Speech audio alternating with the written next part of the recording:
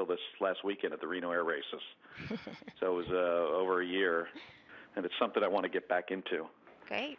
Well, Endeavour flew 25 missions, 299 days in orbit, 4,671 orbits, of which you flew two missions, 27 days in orbit, 434 orbits. I did my math.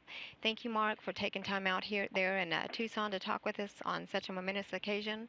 And thank you for your service to our country and our space program. And please give our best to Gabby. I will do that. Great talking to you, Amiko. Have a have a great day.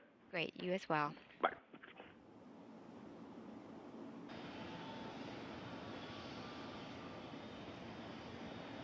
Space Shuttle carrier aircraft with Endeavour strapped atop coming in for its landing at Ellington Field.